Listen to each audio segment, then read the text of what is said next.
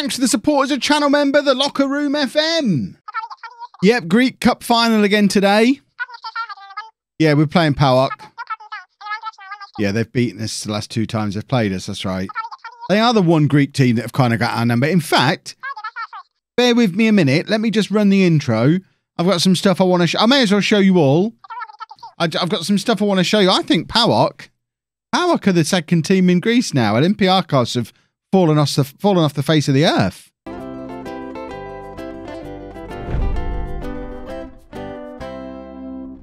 Hello and welcome to part 83 of the Greek Odyssey. I'm Kevin. Coming up on today's episode, we have the Greek Cup final against PAOK. But before that, we're just going to have a little look at the state of Greek football because, of course, one of the elements of this save is we are trying to do a building a nation thing as well with a view to eventually taking over as the manager of the Greece national team and doing international bits as well. As you can see, Jean van der he's been in this job for years nearly 10 years, but he is 64. Retirement has got to be has got to be close.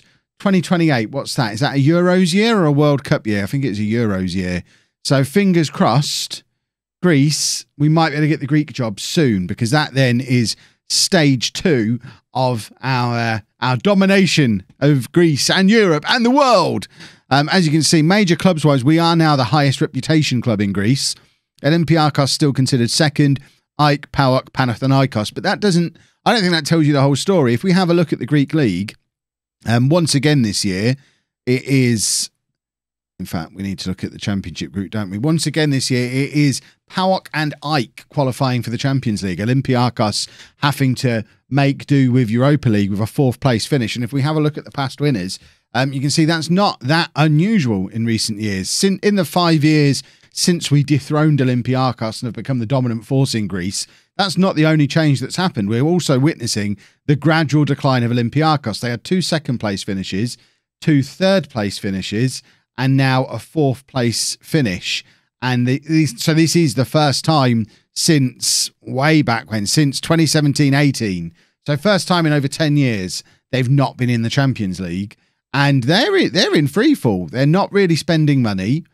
Um, he says they've spent 37 million pounds this year, but they did sell 29 million pounds off a player. I was thinking mainly the year before they only spent 4 million, only spending 10 million that year. They they're not really I don't think they're necessarily being competitive. I think this is more an indication of they're selling off their best players and flailing a little bit, bringing up more options. I mean, this guy they've spent eight and a half million on is 31 years old. What are they? What are they doing? They've spent eight and a half million pounds on a guy who's never going to be any good for them. They Olympiacos have lost their mind. Who's this guy? Thir- another eight million on a 32 year old. It's such short term thinking, and it's not even working. Another four million on a 32 year old. What is going on at Olympiacos? Um, if we have a look at their competition history in the Champions League, you'll see that they did have their chance, and it's not just the emergence of us that has caused them to bottle it. They've they've imploded at the same time because they were blazing the trail before us. We were following in their path. They had their Champions League second qualifying round defeat, then their Champions League playoff round defeat. Then they got into the group stage but finished bottom. But then the following year, they got into the first knockout round of the Champions League. This is the point where we entered things. Um, and they just, they've fallen down. They didn't get in via the playoff that year. They finished third in the group that year lost in playoff, lost in playoff, lost in playoff. They've not been in the Champions League group stages for three years. Now they're not in the competition at all.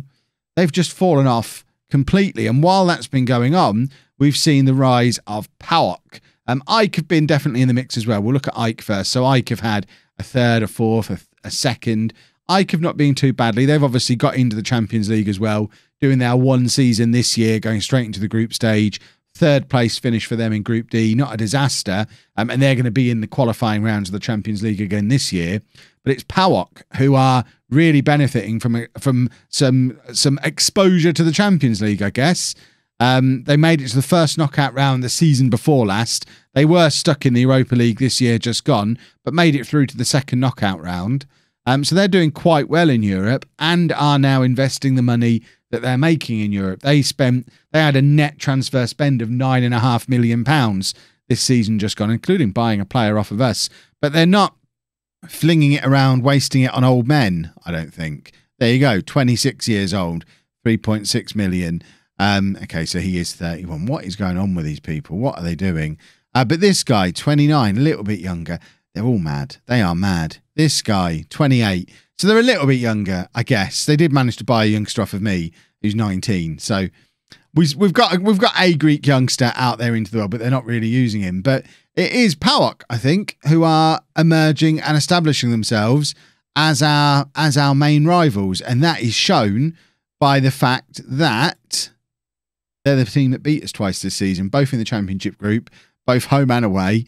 Um, so they've got two defeats in a row against, or two victories in a row against us, and now we face them in the Greek Cup, Greek Cup final as they try and take another step towards us. PAOK are emerging as a half decent side. We might need to slip them a few players to try and to try and keep the progress going. But first, let's win the Greek Cup. You know, I want to help them out, but not that much. I'm not gonna not gonna give them too much of an advantage. So our team for the Greek Cup final, we're going with Tennessee in goal, a back four of Pezic, Michaelis, Criado, and Kalapitas. Milo at the base of the midfield, Dominguez and Cordoba ahead of him, and then Sanchez, Carnevali, Lensina are the front three. Wondering where Duffy is? Duffy is injured. He uh, he has a twisted ankle, so Duffy's going to be sitting this one out, meaning a start in a big game for Unai Dominguez, who I still think he's going to go on to be a star for this team. There's there's always rumblings that 40 million was a lot to spend on him. I think I think he's still our record signing. I don't think we spent 40 million on anybody else. It was a little bit of a it was a little bit of a end of the transfer window. We've got loads of money left. Might as, might as well buy him. Not panic buy, but there wasn't as much thought went into Unai Dominguez as there maybe has been to other players in recent years. But there was some logic attached to it as well. This was at the time when both Duffy and Cordoba were constantly being chased by Bundesliga and Premier League clubs, and it looked pretty sure that one of them was going to be leaving for 50, 60 million pounds and spending 40 million pound to bring in their replacement and have him in the club in advance and get some continuity going made sense. Here we are 2 years later, Dominguez still cost us 40 million 2 years ago, but hasn't yet established himself as a first teamer because Duffy and Cordoba are still here, but this you never know. This might be the summer. There's Premier League teams sniffing around Duffy again. He's 24 years old now. He's recently broken into the England team. I think there's going to come a point where Duffy decides he wants to go back to the Premier League and join a top team, join a Manchester United or a Liverpool. Um, so that might be this year, in which case Dominguez slots straight in alongside Cordoba, and I think we're okay.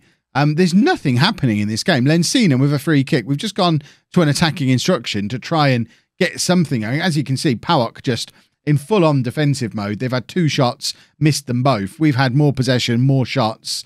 We're just not really getting anything decent going either. It's been a long time since these players have played together. We've we've spent the whole of the championship group rotating the side. This 11 haven't all played at the same time since the Champions League. So I guess it's going to take a little bit of time for them to feel their way back in. But Kalapitas has just got his first goal of the season. It's a ridiculous one as well. And it couldn't happen to a nicer man. Valentinos Kalapitas, the man with the most marvellous moustache in football, has just scored a wonderful goal in the Greek Cup final. Look at that beauty from range. Forget the fact that the goalkeeper really messed it up. The important thing is we've gone 1 0 up. And it's through the man who's been here since the start, Kalapitas, 26 years old now, 12 caps for Greece. More importantly, over 250 games in all competitions for us.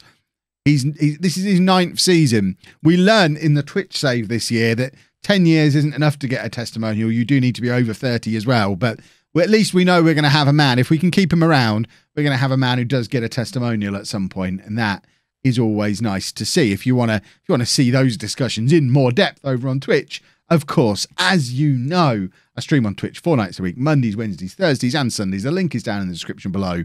Come and join me over there. I'm streaming tonight. It's a lot of fun. You should come and check it out. Um, right, final change. We're going to bring. Oh, we haven't got German on the bench. What is wrong with German? We'll bring Pepe on then, I guess. There must be a reason German's not down there. I mean, I can't imagine a scenario where I didn't pick my own bench. what, kind of idiot wouldn't pick their own bench in a video? Um, cross comes in from Milo, header from Dave, and it goes just over. Um, and that, I imagine, is likely to be one of the final chances of the game because PAOK still showing absolutely no ambition to get back into this game. They weren't able to. We've done back to back doubles. And I think, off the back of the conversation we had in yesterday's video, let me know what you think down in the comments. That might be the last Greek Cup game I show you in the series because we've now won it two years in a row. Um, unless PAOK really do push on and start being proper competitors for us. I mean, I know that was quite a tight game, but we've won the league five years in a row. We've won the cup two years in a row now, and three years out of six, I think we've won the cup. If you don't want to see these cup finals anymore, let me know, and we can just really focus in on the Champions League. And I'm kind of half hoping switch, we'll be able to switch the focus even more if we can fo- focus on the Champions League with Apollon and international football with Greece. They are in the Euros we either need an absolutely pathetic performance and him getting sacked, or a really good performance so he gets offered a better job, or just decides I'm going to quit on a high and retire. But I am very much hoping that this is the summer where I get to become Greek national team manager. And of course, we'll find out about that in the transfer special, which will be coming up tomorrow. If you've enjoyed that, please make sure you leave a nice big thumbs up on there for me. Subscribe to the channel for daily Football Manager videos. And thank you very much for watching.